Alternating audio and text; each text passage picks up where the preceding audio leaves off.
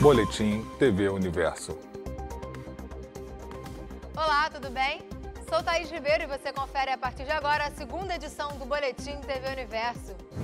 Agentes comunitários realizam curso em São Gonçalo.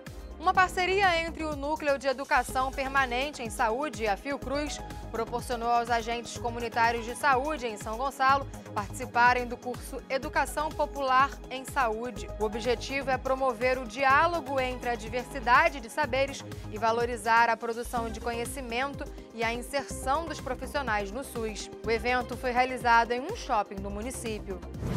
Os contribuintes com prioridade recebem hoje o crédito em conta da restituição do Imposto de Renda 2018, no total de 4,728 bilhões de reais. O dinheiro será depositado na conta indicada pelo contribuinte quando fez a declaração. Neste primeiro lote, são quase 2,5 milhões de pessoas com prioridade. O lote pago hoje também contempla restituições residuais dos exercícios de 2008 a 2017.